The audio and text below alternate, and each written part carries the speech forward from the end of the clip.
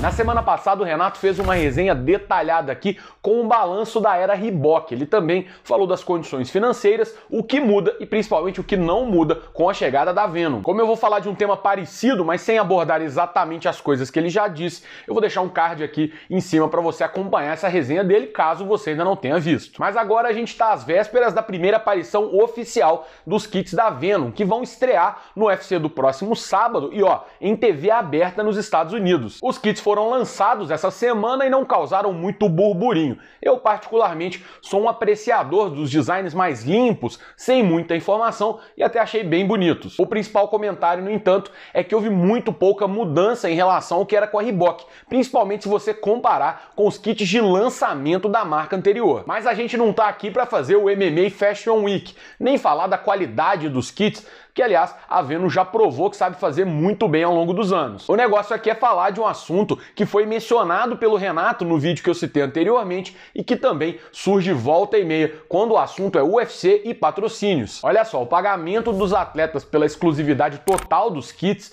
foi reajustado em valores relativamente pequenos. São 500 dólares a mais do que eles ganhavam antes para quem está chegando agora, até 2 mil dólares a mais para quem é campeão. E se esses números já não são impressionantes, antes, eles ficam ainda piores se você olhar a inflação. Se a gente considerar a comparação com o índice de 2014, que foi quando a Reebok chegou ao UFC, os atletas que estão chegando agora, né, uma, três lutas, eles ganharam na verdade 80 dólares. E os campeões, eles perderam 2 mil dólares. O resultado disso é um sistema que prejudica os atletas que perderam uma das suas principais fontes de renda e também a organização que acaba fazendo um negócio milionário, não tem ganhos de grande valor em cima disso e ainda toma um baita prejuízo de imagem. Mas então a solução é voltar como era antes, cada um por si, e a gente corre o risco de acabar com o Dennis Holman da vida, com a sua infame sunga cavada, ou com o Cody McKenzie, que literalmente comprou um short na vendinha da esquina e esqueceu até de arrancar a etiqueta. Claro que não, né? Os uniformes eles têm vários pontos positivos.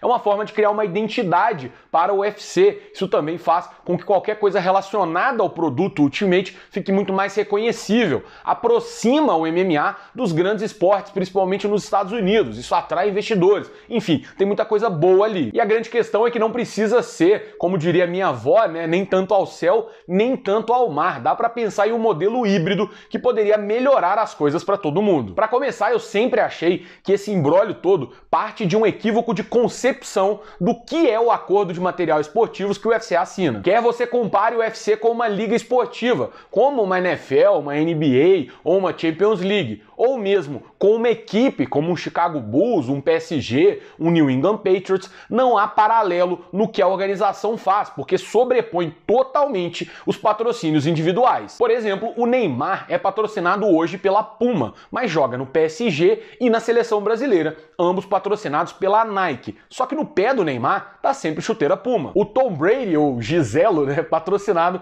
pela Under Armour. Só que a NFL inteira é patrocinada pela Nike. Só que nas mãos dele. E nos pés tem é a marca de Baltimore. Ok, você deve estar pensando que esses são esportes coletivos e as coisas são diferentes, mas se aplica também a esportes individuais. Os comitês olímpicos, por exemplo, têm seus próprios patrocinadores e os atletas de esportes coletivos ou individuais, quando vão subir no pódio, por exemplo, têm que usar o agasalho do Comitê Olímpico do seu país e às vezes até o uniforme da federação da modalidade que eles estão disputando. Só que isso não impede que eles tenham seus patrocinadores pessoais. Para dar um exemplo, se você assistir uma etapa, por exemplo, da Diamond League de atletismo, vai ver que vários atletas têm uma marca na roupa e outra nos calçados que estão usando. Ou seja, sempre há uma tentativa de equilibrar os dividendos entre esses acordos coletivos e também a exploração da imagem individual do atleta, visando sempre, claro, aumentar os ganhos. Para não dizer que não há exemplos similares ao do UFC, eu tô lembrando aqui de bate pronto da seleção alemã de futebol, que é patrocinada pela Adidas e tinha um acordo antigamente que obrigava os jogadores que atuavam pela seleção a calçarem chuteiras da Adidas, mesmo se eles tivessem outros patrocinadores. Isso virou uma polêmica sinistra nos bastidores, porque os jogadores obviamente cobravam muito e a Federação Alemã conseguiu, até sob a ameaça de trocar a Adidas pela rival Nike,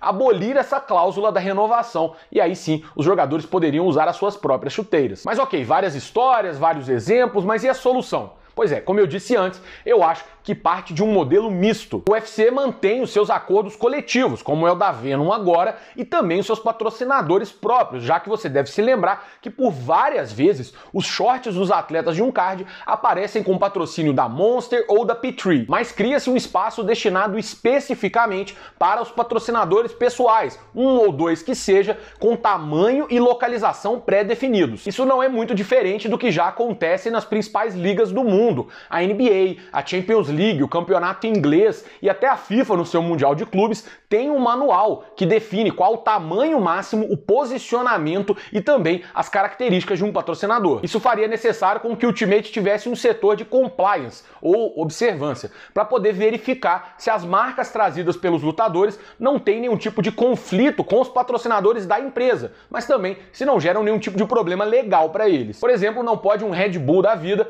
porque tem a Monster, não pode marca de material esportivo porque já tem a Venom, não pode às vezes uma casa de aposta porque o evento vai ser num país em que apostas são ilegais, esse tipo de coisa. A PFL, aliás, já tem algo desse tipo, né? um espaço reservado para o patrocinador pessoal do lutador no shot. Assim, eles mantêm o padrão visual do torneio, mas também deixam os caras capitalizarem um extra. E assim, para finalizar, considerando que o UFC sempre cobrou uma taxa para patrocinadores de terceiros aparecerem no octógono, isso capaz ainda de virar uma renda extra para a organização. E é isso. Dessa forma, então, eu coloco um ponto final nessa resenha, mas ela continua com você aqui nos comentários. Me diz aí o que você achou dessa ideia para solucionar o um impasse entre lutadores, organização, patrocinadores e essa exclusividade dos uniformes ou qual seria a sua solução para esse problema que volta e meia a gente esbarra aí no meio do MMA. Se você ainda não é um wrestler All-American, clique no botão azul que fica bem embaixo aqui do vídeo e junte-se ao nosso clube de membros. Tem inúmeras vantagens e todo mês você concorre a camisetas exclusivas do sexto round. Pode ser esse modelo aqui que eu estou usando